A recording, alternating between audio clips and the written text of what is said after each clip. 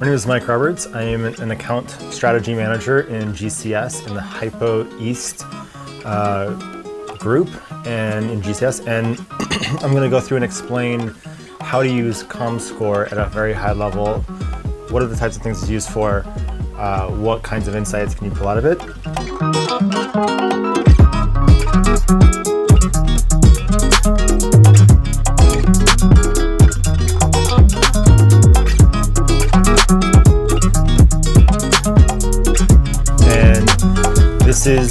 Homepage for ComScore. If you don't have access, uh, request a subscription. Everyone at Google has access to it.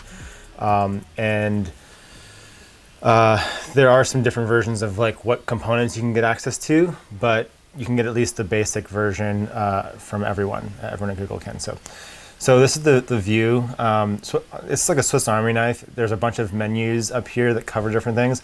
And there's even like a lot of sub menus. And even when you click into one of these, there's a lot of sub things below that. So um, I'm going to give you a very quick overview. Basically, ComScore, what they do is they look at uh, website traffic across the entire internet. And they are able to look at specific companies. And then when you add those companies up, you can look at things at the aggregate level. So the types of insights that are really powerful from this are things like um, the cl my client's website traffic is going down while the category is going up, or their competitors are getting three times more traffic to their site than than than they are. Um, it also can look at the types of audiences.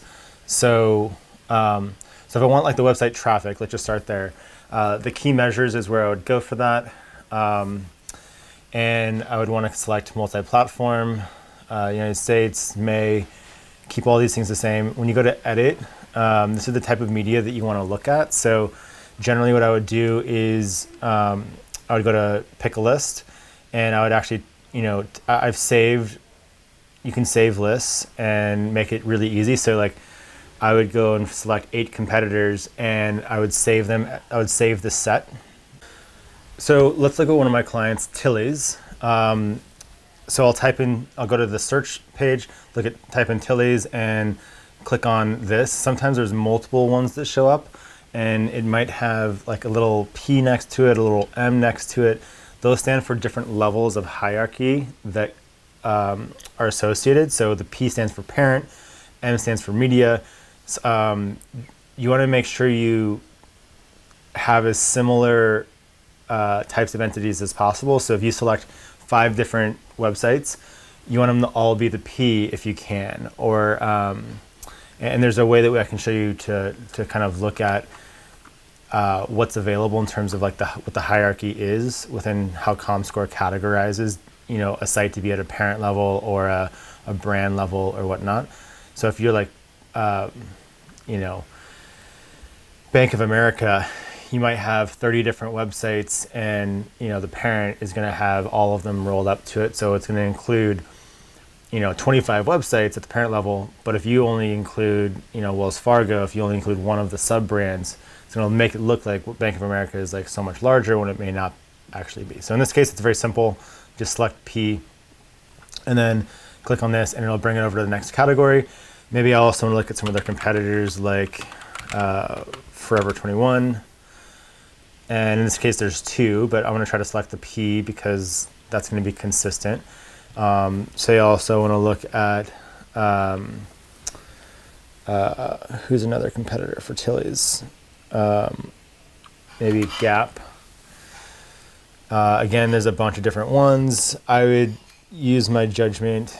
Um, you know, Gap Factory doesn't seem like it's the right one because it's not uh, the exact same thing, or it kind of has I'm not sure what the factory is. It must be the factory outlet's not the main parent, so I'll just do the parent.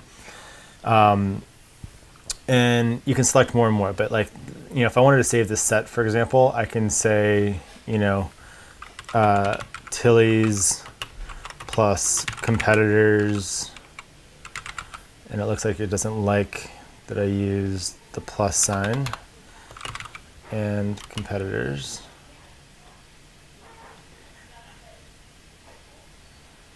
Oh, doesn't like the apostrophe either. Okay.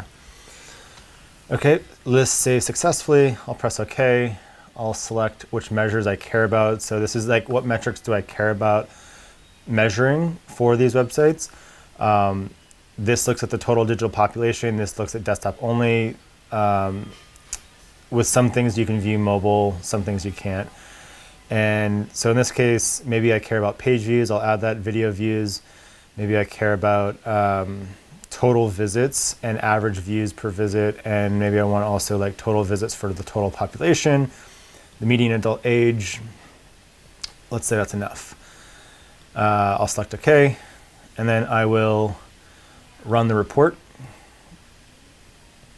And it's going to give me a data dump. Now, if I were to select a bunch of, you know, I could select 30 different competitors or, or websites, and then I could use the aggregate as like an industry average. Um, I could just look at the top couple like I did here. Uh, this basically shows you know the metrics that I selected at the at the at the column level, so total visits, total minutes, etc. Um, and then it shows for the total audience, the total group of people that it's considering. So out of all the people that they look at on all websites, you know, in this case, the total digital population is uh, this size, which is uh, looks like it's two billion people uh, for their data set because there's it's in millions and it's two million, so it's um, that's how you'd read that. So for Gap, it looks like there's 259 million uh, minutes. I, am sorry, this is minutes, not um, people. That makes more sense.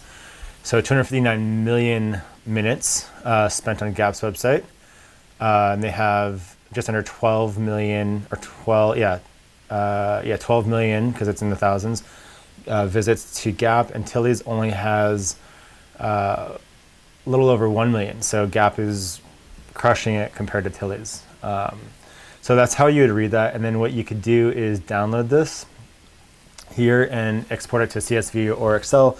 And this is where I would start to build charts in PowerPoint or Sheets or something like that. And, you know, at this level, I'm kind of looking at what are the data points that pop that are interesting to me and do I need to like go back and adjust something because I can go back and look at a different date range, add in some different sites, you know, maybe I want some different metrics, you know. Um, so before I download anything, I make sure there's like a story that I think is worth telling, um, and then I'll I'll export it at that point.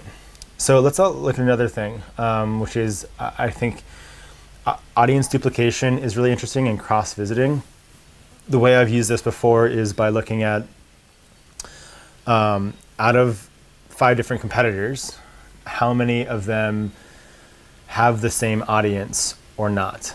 Or do these two have the same audience, but these other two actually have a quite different audience? And I might look at the makeup of that audience. So I might find the average demographics of age, how much time they're spending on the different sites, um, whether they visit each other's sites or not, and I can look at it over time and see like are the audiences of these two companies starting to get more and more similar or less and less similar, you know, which is an interesting thing.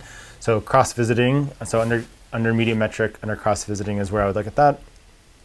And target audience. So generally I leave it open to total audience, but you could look at, you know, if you're a brand that only sells to females within a certain age range or something, you could look at at that. Um, so that's where you would want to. This is setting the comparison that it makes it to.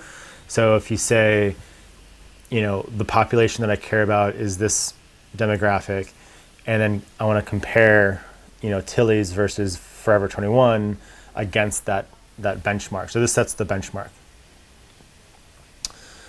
Uh, the media in the columns, this is, you know, just works just like uh, the one before.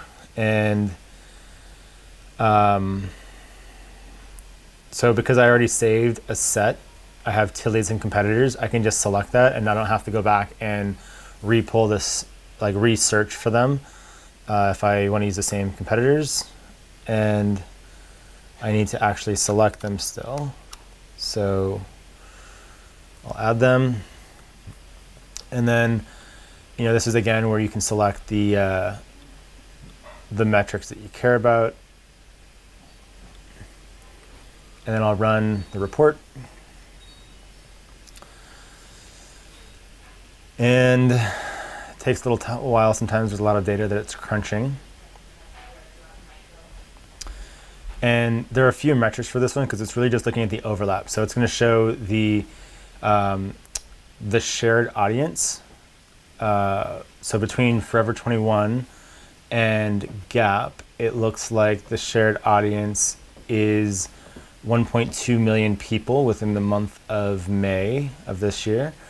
And but within Forever 21, obviously there's um, uh, that's not a comparable number because it's comparing itself to itself. And then if you look at the percentage um, of the vertical, this shows that 27% of the Forever 21 audience also goes to Gap um, versus only 4% of the Forever 21 audience also goes to Tilly's. And then uh, it does the same thing for all the competitors. So um, what I've also used this done to, to visualize this is I'll just Google um, a Venn diagram overlap chart and, and get like a free tool that puts the chart together for me. And then I'll put that on a slide and I'll just use the shape tool to, to put, well, let me just show you. That'll be easier.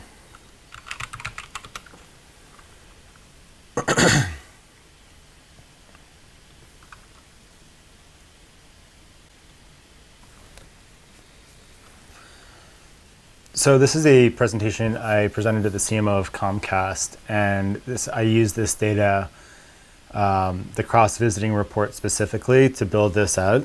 And I was trying to understand the evolving bundle of um, streaming platforms because people are canceling and cutting the cord for cable and signing up for these other streaming platforms. And I was trying to get a sense of like, do all these platforms have the same audience? um, how large are each of their audiences and how much is the overlap between them. So when I looked at this, I looked at the unique web visitors, website visitors between Amazon and Netflix, and I was able to calculate that there's 52 million of those. And then I overlapped Hulu on top of that and found that there's 22 million uh, people who subscribe or at least visit the website in this case of uh, Hulu and Amazon. And then there's 9 million that have visited in the same month uh, all three of the platforms. And then I added in DirecTV Now as well, which is smaller, uh, wasn't as much of an important focus. And then I, the conclusion was this is the most common bundle that people are bundling for themselves or that are building for themselves. Is because um, I went through and looked at a whole bunch of different views and kind of um, looked at a lot of websites, a lot of different streaming services, and this is the one that popped up as the, the largest amount of people as well as the largest amount of overlap between them. And then I did the same sort of thing here, and then I, I compared it to YouTube and said, these consumers are researching how to build this bundle, and they're doing that on YouTube because they're looking at trailers and et cetera, et cetera. But this the point is like in this case was the audience overlap that uh, YouTube uh, visitors, 81% of them are visiting Amazon 78% visited Netflix, um, and who uh, YouTube reached 70% almost of Hulu audiences. And so YouTube is a way that you can reach all of these consumers, even if they're on platforms that don't have advertising like Netflix. So that's how I'd use this cross-visiting report uh, on ComScore. Let's say another, you know, um, audience duplication does something similar. Uh, I would say a lot of these reports will function in the same way. I see. I'd say there's another area with um, video viewing where you can look at cross viewing, and this is something. It's the same. It works the same way, but it, it allows you to look at uh, from a video perspective instead of from a website traffic perspective. There's also a mobile specific one, and I like to look at uh, MobiLens Audience Profile. Now, this isn't necessarily available um, for everyone. I think it's available to most Googlers, but the the high level of MobiLens is it adds on additional it combines a survey with a clickstream data which is what we've been looking at is clickstream data. So what are people saying they do and then what are they actually doing? And i'll look at um, you know three month average and i will look at um, so this is where you can select which survey components you care about, and there's a bunch of different subcategories. So if I look at the behaviors, uh, I can see like OTT device usage by activity and look at, you know, played an online multiplayer game on a smart TV, and I can say, okay, that's the data point I want. I'm going to add that to here, and I will be able to um, to have that be uh, a cut that I will look at. Um, and then what I will say is like, say there's another thing that I want, and I want to look at mobile phone usage, um, and I care about someone, or let's just look at device usage by. Um, I don't know. Say, say I wanted to also look at like listened to music or watched videos. Let's do watched videos frequency um, almost every day. So, you know, if I selected that and I did it, watch them on their mobile phone, um, so this is now combining the audiences where it's saying, I want to only look at people who, who are um, playing games on a smart TV. Uh, over o- over an OTT service, and they're also watching videos on their phone.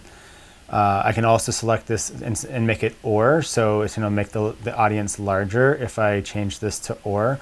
And I say like I, I want uh, them to be the OTT uh, smart TV audience or the mobile gaming audience, and that's going to be, the mobile video audience, and that's going to make it a larger audience. So I'll, I'll do that. I'll select OK.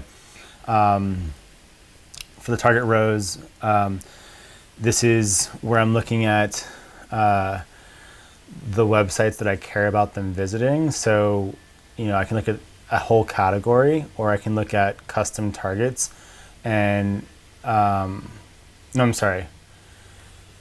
This allows you me to, to cross tab is what this does. So if I say I wanted to look at a certain de demographic or like any other survey question, I can see the overlap between you know the rows and columns of people who meet the mobile phone, uh, watch a video on their mobile phone almost every day with also their education level. So I can say like, you know, people that have some college and, and hold down command and say, select multiple of these so I can include anyone like if they have any college experience and this is making them or so if they had some college or an associate's degree or a bachelor's degree or a postgrad. And I'll select, select OK, and then I'll run the report.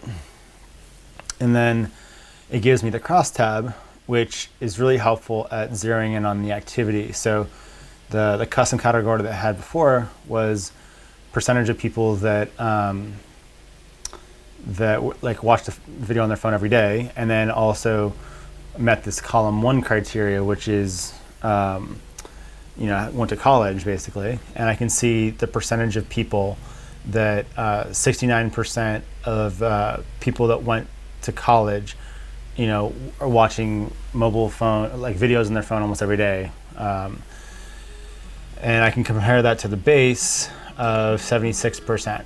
So looks like fewer people, you know, in college are watching videos on their phone every day, uh, or that have went to college, than people who are not is just like an example. So that's how I'd use that. Uh, there's some other things in here that I won't get into for sake of time, but you know, there's uh, reach and frequency for video. You can look at different segments. Uh, you can look at different target profiles. So if you your, your uh, client says that they want to reach a certain audience, you can go in and understand like the, the specific target profile, learn a lot about that audience, where they go on the internet, what they're what they look like, things like that. So that's high level overview of ComScore. It's super valuable. When I export the data, I then um, build, you know, charts within slides that expresses it because this doesn't visualize data very well at all, but it's a good place to, to source it. So very flexible, covers all kinds of industries.